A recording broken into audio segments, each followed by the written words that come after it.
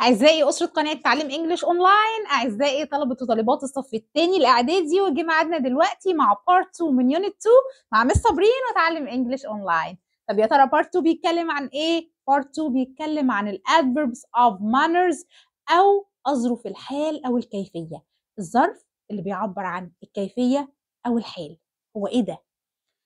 لو أنا مثلا عايزة أقول هو بيمشي ببطء يبقى كيفية مشيه إيه؟ بطيء ببطء. طب هي بتغني بشكل جميل يبقى كيفية الغنى إيه؟ حال الفعل ده إيه؟ حالها إيه وهي بتغني؟ بتغني بشكل جميل. يبقى هنا الظرف أو الاظرف بتاعت النهاردة بتعبر عن الكيفية. طيب الاظرف بقى هل في فرق بينها وبين الصفات أو إمتى هنعرفها؟ عندنا كام بوينت كده لو ركزتوا قوي معايا هتلاقوها بقت سهلة جدا وهتقدروا تجاوبوها من غير أي تفكير بمجرد ما تشوفوها في الامتحان. طيب إيه أول حاجة؟ أول حاجة عايزين نعرف الصفة. الصفة دايما بتيجي توصف الاسم. أما بقى الظرف بيوصف الفعل وده أول اختلاف بينهم وتعالوا نشوفه عملي من خلال الجمل. She is beautiful. هي تكون جميلة. أنا هنا بوصف مين؟ بوصف الفيرب يكون ولا بوصفها هي؟ بوصفها هي. هي بتكون جميلة. يبقى هنا دي صفة. الصفة بتوصف الاسم بتوصف الإنسان بتوصف الشخص الشيء أي اسم.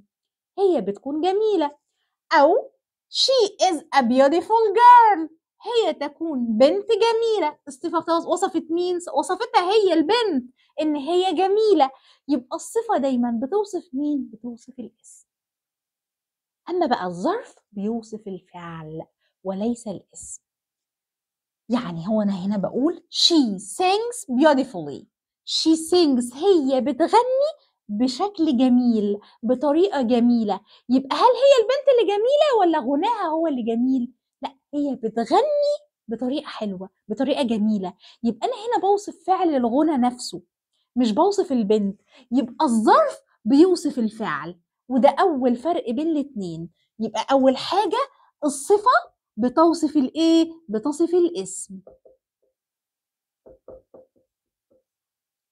أما الظرف بيوصف الفعل. ده كده أول difference between them. أول اختلاف بينهم. طيب تاني اختلاف إيه؟ الصفة بتيجي قبل الاسم. لو هكتب اسم الصفة بتيجي قبله أو بعد verb to be يبقى الصفة بتيجي إيه؟ قبل الاسم أو بعد verb to be لو عندي verb to be يبقى اللي بعده صفة. أما في حالة أي فيرب تاني أو أي حاجة تانية فالصفة دايما بتيجي قبل الاسم. أما الظرف يجي بعد الفعل. Sings beautifully. الظرف هنا جه بعد الفعل اللي هو بيوصفه. يبقى الصفة بتيجي فين؟ قبل الاسم لكن الظرف بعد الفعل. وده تاني اختلاف بينهم.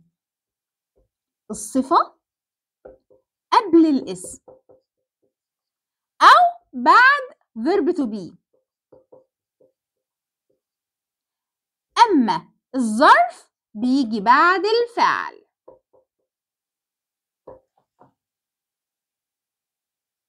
طيب ده كده تاني اختلاف. طب في حاجة بس تركاية عايزة أقول لكم عليها؟ ممكن تكون كبيرة شوية عليكم بس أنا عايزة أقول لكم عليها. إن في أفعال زي verb to be كده زي الفيرب feel يشعر فأنا ممكن أقول she feels happy. ممكن أقول she is happy. ففي الحالتين أنا هنا حطيت الصفة بعدهم. والأفعال دي في الإنجليش بنسميها linking verbs أو أفعال الربط. أفعال بتربط بين الفاعل والمفعول. فأنا بعد مع الصفات ممكن أحط verb to be am is are I'm مثلا كذا وأوصف نفسي وممكن أحط مثلا I feel يعني ممكن أقول I'm happy أو I feel happy أنا أشعر إني أنا سعيدة. فممكن بدل verb is بدل verb to be أحط verb to feel وبرضو الصفة هتيجي بعده. طب في أفعال تانية؟ أه بس مش وقتها ومش عليكم أصلا. فإحنا خلينا نعرف إن الصفة بتيجي بعد verb to be بس عشان لو جالي برضو ال verb feel يشعر أعرف برضو إن الصفة بتيجي بعده لأنه فعل ربط زي verb to be طيب يبقى تاني أهو. الصفة توصف الاسم الظرف يوصف الفعل. الصفة تيجي قبل الاسم أما الظرف يجي بعد الفعل بعد الفعل. الظرف بيوصف الفعل ويأتي بعده. تاني اللي هيخليني أعرف الظرف واختاره على طول وأنا في الامتحان. الظرف يصف الفعل ويأتي بعده. طب في حاجة تانية؟ آه ويتكون بإضافة ال واي لنهاية الصفة. وده بقى شكل الظرف. لو إحنا شفنا هنا beautiful صفة. طب لما حولناها لظرف وجينا نوصف الفعل مش الاسم حطينا آخرها ly. فالظرف بي إيه؟ يتكون بإضافة ly لنهاية الصفة. طيب ادينا examples يا Miss بصوا كده لو أنا عندي quick quick يعني سريع. طب عايزة أحولها لظرف أحط ly فتبقى إيه؟ quickly بسرعة. طب slow بطيء. طب عايزة أحولها لظرف هحط لها ly فبقت إيه؟ slowly ببطء.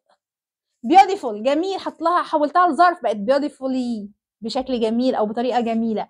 وهكذا. يبقى الظرف بيتكون بإضافة ال واي لنهاية الصفة. يأتي بعد الفعل. ويصفه. هو ده الظرف. طيب غالبا كده بنسبة 90% بيجي آخر الجملة. غالبا بنسبة 90% بيجي آخر كلمة في الجملة.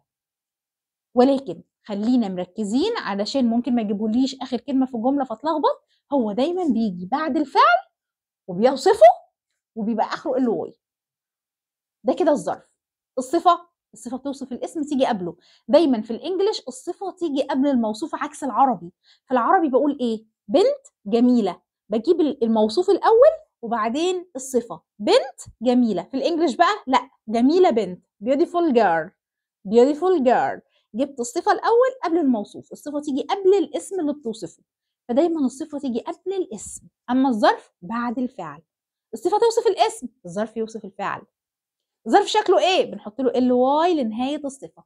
وبس خلاص وده كان درس النهارده ناقص حاجة بس بسيطة إن إحنا عندنا اظرف شاذة لازم تتحفظ زي مثلا الصفة good لما نيجي نحولها لظرف بتبقى well شكلها بيختلف تماما مفيش حاجة اسمها godly ولكن هي بتتحول ل well معنى بشكل جيد أو جيدا وفي late late hard hard ف straight straight فتعالوا بقى نشوف الأظرف الشاذة على شاشة الكمبيوتر في ال chart أو الجدول ونحل أسئلة عليه ونشوف بيجي لنا إزاي في الامتحان وناخد كمان ال reading والكلمات. بس استنوا لو لسه ما اشتركتوش في القناة انزلوا بسرعة اشتركوا في القناة وفعلوا الجرس عشان يوصل لكم إشعار بأي فيديو أنزله. وكمان ما تنسوش تشيروا الفيديو مع كل أصحابكم واللايك والتعليق بيعلي الفيديو ويوصله لكل الناس. دي أول حاجة. طب تاني حاجة إيه؟ يا بس انت تتاخري علينا ساعات في شرح المنهج وبنبقى مستنيينك وبتتأخري. يا جماعة أنا بشرح المنهج لتاني مرة فبالتالي المنهج هو أصلا مشروح عندكم كله بمراجعاته والترم الأول أصلا خلصان بكل مراجعاته بحل امتحانات بكل حاجة. لو دخلتوا على قوائم التشغيل وقائمة تشغيل الصف الثاني الإعدادي الترم الأول هتلاقوا كل المنهج مشروح وهو هو نفس المنهج هو هو. فالناس اللي عايزة تمشي بعدي أو تسرع واتأخرت عليها في إن أنا أنزل ال unit اللي هي عايزاها تدخل على قائمة التشغيل هتلاقيني شرحت نفس الشرح أنا بشرح لتاني مرة السنة دي. فالمنهج هو هو يا جماعة عشان ما أحسش بالذنب لو اتأخرت أو انشغلت عنكم. وبس خلاص تعالوا بقى ندخل على شاشة الكمبيوتر. تعالوا بقى نبص كده على شوية ملاحظات بسيطة عن ال adverbs الجملة اللي بتنتهي ب le قبل ما نحط ال y نحذف ال e طب اذا إحنا بنحط y بس مش إحنا بنحط ly؟ لأ ما هي أصلا آخرها l فهنحط لها y بس. فقبل ما نحط ال y نقوم حذفين ال e فتبقى بالتالي برضو بتنتهي ب ly. زي possible possibly. probably probably. أوكي. الصفة بقى المنتهية ب y وقبلها ساكن بنحول ال y ل i قبل ما نحط ly. ف happy هنشيل ال y ونحولها ل i هتبقى happily. Easy easily. Lazy lazily. Hungry hungrily. فإحنا بنعمل إيه؟ ال y هنا آخرها قبلها r أهي وال r ده ساكن فنقوم حذفين ال y ونحولها ل i وبعد كده نحط ly عادي جدا. كمان عندنا بعض الاظرف الشاذة اللي بتتحول لشكل تاني خالص من الصفة مش بتبقى بإضافة ly للصفة زي العادي. عندي مثلا وأهمهم good. عندي الصفة good يعني جيد. طيب لما أجي أحولها لظرف أحط لها ly تبقى goodly لا مفيش حاجة في ال English اسمها goodly. هتبقى well وده شكل شاذ ليها شكلها بيتغير تماما. ودي الاظرف الشاذة لازم نحفظها عشان بتيجي في الامتحان. hard بتفضل hard زي ما هي fast تفضل fast زي ما هي late late early early. كلهم دول زي ما هم هي حاجة واحدة بس اللي بتتغير good بتبقى well. فقط. فهنحفظها إن good هتبقى well hard هتبقى hard زي ما هي fast fast late late early early مش هحط أي حاجة ليهم بس أبقى حافظة إن دول شاذين عشان ما انساش وأحط لهم ly تعالوا كده نشوف الأسئلة اللي جاية في ال student book وال workbook عندي number 2 هنا مكتوب SB ونهتم قوي يا جماعة بالأسئلة اللي مكتوب عليها اس بي أو دبليو بي لأن ده معناها إن جاية من كتاب المدرسة أو من ال workbook ال SB معناها student book وال WB معناها workbook فلو لقينا كده نعرف إن دي من كتاب المدرسة أو ال workbook والامتحانات في الغالب بيبقى معظمها جاي من كتاب المدرسة وال workbook ممكن يكون نفس الجملة ويغيروا فيها مثلا حاجة. ولكن بتكون هي هي. فالأهم إن إحنا نركز قوي على الأسئلة دي. آه نحل أسئلة تانية وأسئلة كتيرة ولكن نركز أكتر على الأسئلة دي. مستر كمال speaks English very. مستر كمال بيتكلم English very إيه؟ هو هنا أنا بوصف إيه؟ بوصف السبيك نفسه كلامه للغة. بيتكلم كويس. يبقى أنا بقول مستر كمال هو نفسه اللي كويس ولا كلامه هو اللي كويس للإنجليش؟ كلامه هو اللي كويس يبقى أنا هنا بوصف الفعل مش بوصف الراجل نفسه أنا بوصف الفعل. فما دام بوصف الفعل لازم أختار ظرف دي أول حاجة. تاني حاجة في الغالب قلنا الظرف بيجي آخر كلمة في الجملة ولكن مش دايما ولكن غالبا. وبيجي بعد الفعل speaks أهو جه بعدها لأن أنا بوصفه هو. مش قصده إن بعده مباشرة أحيانا بيكون في كلام في النص ولكن هو بيكون بعدهم يعني speak English على بعضها يتحدث الإنجليزية ده كده يعتبر الفعل. يعني speak اول فعل بس هي speak English على بعضها كده يتحدث الإنجليزية. و very هنا أنا بقول معناها جدا حطها قبل الظرف عادي فهي هنا جاية قبل الفعل. طب هختار إيه هختار واو. ليه حطيت واو؟ لأن هو بيتحدث جيدا. طيب جيدا دي إيه اللي هي good طيب good الظرف منها إيه؟ ده شاذ الظرف منها واو. عشان كده قلت لكم دي مهمة جدا الحاجات الشاذة دي لازم نحفظها عشان بيجي منها في الامتحان. طيب good مش تنفع عشان صفة. أنا بوصف الكلام مش بوصف الشخص. bad نفس القصة صفة clear صفة كلهم صفات. الوحيدة اللي جاية توصف الفعل هنا هي الظرف فبالتالي الوحيدة في الأربعة دول هي well اللي تنفع. طيب تعالوا نشوف السؤال ده اللي هو number 4 برضو جاي من student book The cat is sitting in the sun. إيه؟ المفروض أقول lazy, lazily, lazy يعني آه كسلان lazily بكسل. القطة قاعدة في الشمس كسلانة، أنا بوصف القطة بقول القطة هي اللي كسلانة ولا قاعدة في الشمس بكسل؟ طبعًا أنا هنا أصلًا المفروض هختار ظرف لأن أنا بوصف قعدتها نفسها مش القطة. طب لو أنا بوصف القطة هلاقي على طول هنا قلت the cat is lazy. القطة تكون كسلانة لكن أنا بقول قاعدة في الشمس بكسل بعد الفعل أجيب ظرف. أنا هنا عندي اسم بوصفه؟ لأ. أنا هنا ما عنديش اسم جبت الصفة قبلها. الصفة ما تجيش كده لوحدها غير بعد verb to be لو هحط is مثلا هحط صفة بعدها.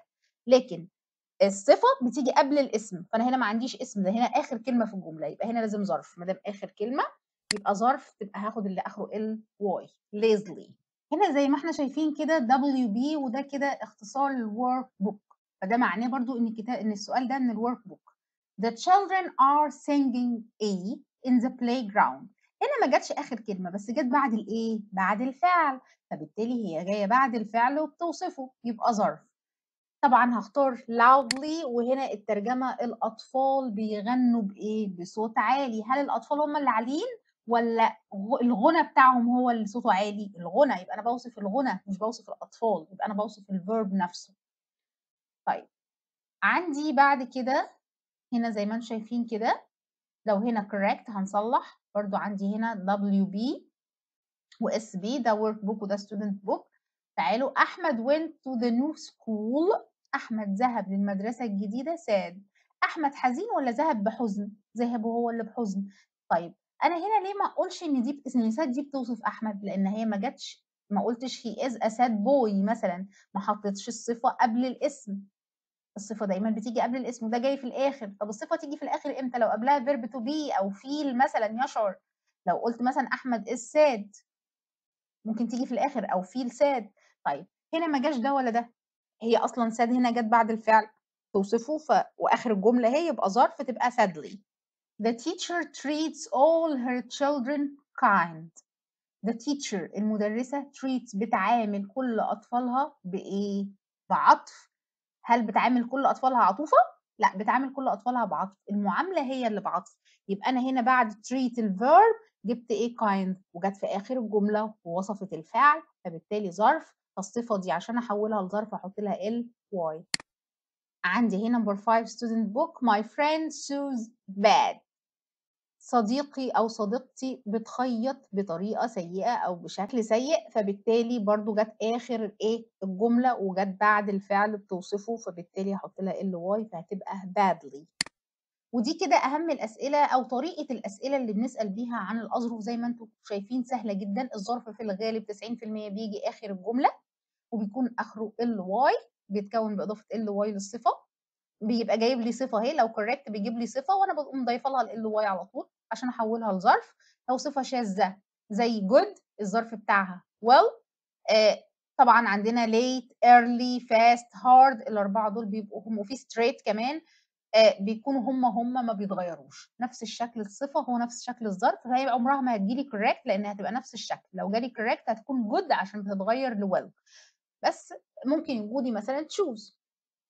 طيب تعالوا بقى نشوف الكلمات والريدنج هنيجي دلوقتي هناخد كلمات lessons 3 و 4 إحنا طبعا المرة اللي فاتت أخدنا 1 و 2 guest. guest يعني ضيف أو نزيل في فندق. port. port ميناء. airport. airport المطار. suitcase. suitcase حقيبة سفر. wedding. wedding حفل زفاف. suit. suit ده ممكن يجي كفعل بمعنى يناسب أو يلائم وممكن يجي كنعم أو اسم بمعنى بدلة. Weeding. Weeding يعني إزالة الأعشاب الضارة من الأرض الزراعية. Alone. Alone معناه بمفرده. Striped. Striped مخطط أو مقلم. Pattern. Pattern يعني نموذج أو شكل مرسوم. Hanging. Hanging يعني معلق. Teenager. Teenager مراهق. Grateful. Grateful يعني شاكر أو عارف بالجميل. Skin skin يعني جلد سواء جلد إنسان أو حيوان. عندي بعض الأظرف هنا زي excitedly excitedly يعني بحماس أو بانفعال happily بسعادة hungrily بشراهة loudly بصوت عالي slowly ببطء quietly بهدوء quickly بسرعة lazily بكسل easily بسهولة carefully بحرص. عندي الأزهر بارك دي حديقة الأزهر وأم السلطان شعبان ماسك مسجد أم السلطان شعبان. عندي هنا كلمات lesson 3 سواء في ال student أو ال work book treat treat يعني يعامل وأحيانا بتيجي بمعنى يعالج. invite invite يدعو. husband husband زوج. playground playground ملعب أو حوش المدرسة. football team football team فريق كرة القدم. Crowds. Crowds يعني حشد من الناس أو زحام من الناس. Shopping bags. Shopping bags أكياس التسوق. Sweet. Sweet يعني لطيف أو جميل. طعمه حلو.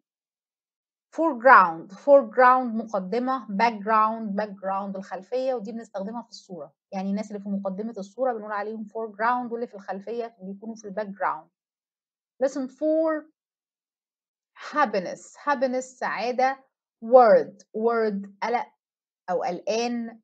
Pleased. Pleased. مسرور. Magazine. Magazine مجلة. Continue. Continue يستمر. Suggest. Suggest. يقترح. عندي هنا درس الريدنج في lesson 4 بعنوان happiness for teenagers. السعادة للمراهقين.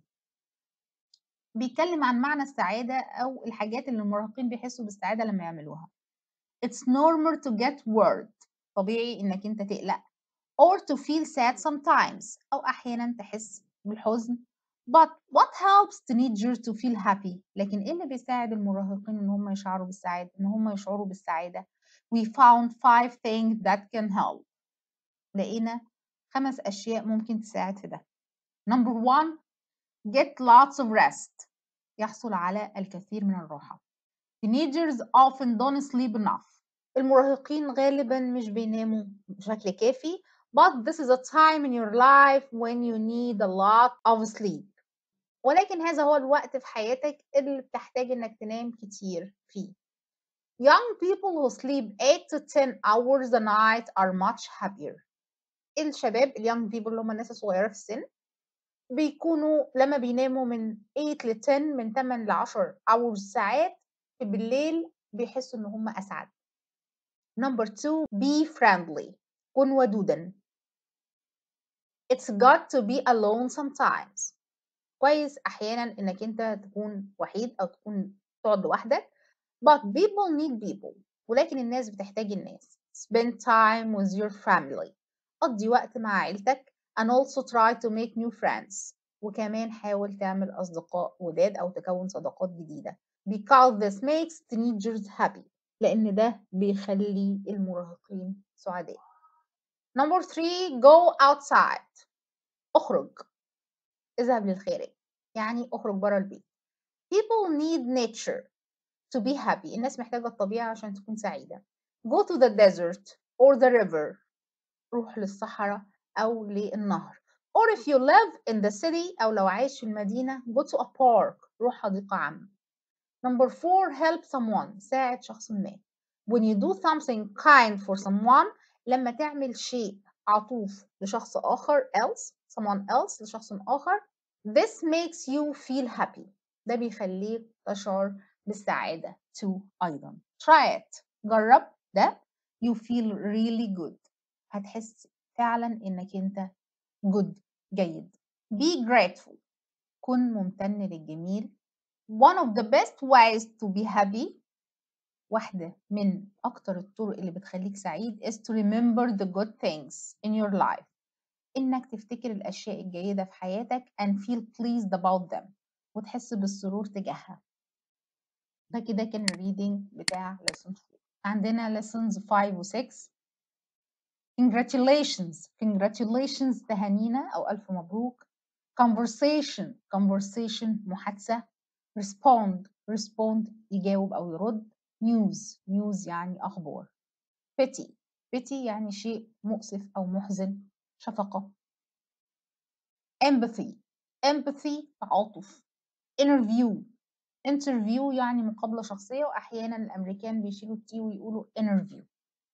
excited excited يعني منفعل أو متحمس. lesson 5 check check يتحقق من يفحص. Pass pass يجتاز أو يمر sorry sorry آسف أو حزين bank bank يعني ضفة النهر وكمان ممكن تدي معنى بنك بتاع الفلوس ده عادي. coach coach يعني مدرب. worry worry يعني يقلق. soon soon قريبا أو في القريب العاجل hope يتمنى. lesson 6 miss miss يفتقد سواء يفتقد شخص أو شيء. Introduce introduce يقدم أو يعرف system system يعني نظام recently recently حديثا أو مؤخرا suitable suitable ملائم أو مناسب dear dear يعني عزيز أو غالي prepare prepare يعد أو يجهز term term يعني فصل دراسي عندنا هنا reading في lesson 6 Hi Salma How are you? أهلا يا سلمى كيف حالك؟ I hope you are enjoying your new school. أتمنى إنك تكوني تستمتعي بمدرستك الجديدة. We really miss you. إحنا فعلا مفتقدينك أو أنت وحشانا. I'm fine. أنا كويسة. But there is some bad news from school.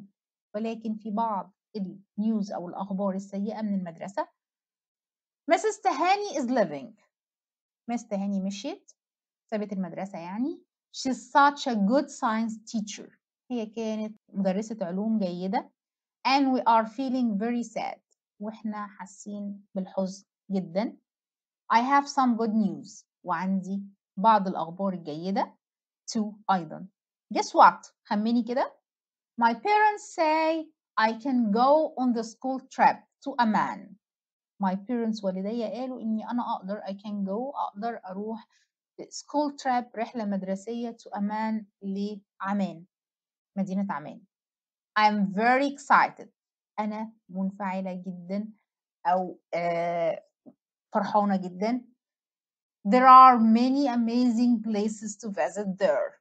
يوجد أماكن amazing رائعة أو مذهلة نقدر نزورها there هناك. The trip is in March. الرحلة هتكون في شهر مارس. And I can't wait. وأنا مش قادرة أستنى بصراحة. يعني متحم... طبعا I can't wait. دي بتدي معنى التحمس. يعني مش معناها إن أنا فعلا مش قادرة أنتظر. لأ هي معناها إن أنا يعني متحمسة جدا لدرجة إن أنا مش قادرة أستنى. مستنية فارغ الصبر. So what's your news؟ قولي لي بقى أخبارك إيه؟ What's your news؟ ما هي أخبارك؟ Write soon اكتبي لي قريبا. إنجي وده طبعا جواب من إنجي لسلمى. وبكده يبقى خلصنا كل unit 2 بكل ما يتعلق بيها. انتظروا إن شاء الله في unit 3 ويا جماعة الناس اللي أنا بتأخر عليها أنا بشرح للمرة الثانية يدخلوا على قوائم التشغيل هيلاقوا قائمة تشغيل خاصة بمنهج تانية إعدادي. فيه كل الدروس مشروحة ومراجعات وحل امتحانات وطريقة حل أسئلة الامتحان وكل حاجة يا جماعة. هو هو نفس المنهج ما اتغيرش أنا بس بشرحه لتاني مرة لكن هو هو نفس المنهج. فالناس مثلا اللي عايزة unit 4 وأنا لسه ما شرحتش 4 يدخل يشوف unit 4 في قائمة التشغيل بتاع تانية إعدادي هيلاقيها يتفرج عليها ويشوف حل الأسئلة بتاعتها. ما نعطلش نفسنا. وبس وأتمنى يا رب إني أكون بقدر افيدكم واستنوني بقى إن شاء الله في ال unit الجاي وما تقلقوش إن شاء الله هنخلص قبل الامتحانات شرح المرة الثانية وهنحل امتحانات كتير. وكمان عندي فكرة كده بفكر إن أنا أبقى أطلع لكم live في أيام المراجعات ونراجع مع بعض وأسمع أسئلتكم. وعايزة رأيكم هل الفكرة دي كويسة ولا لأ؟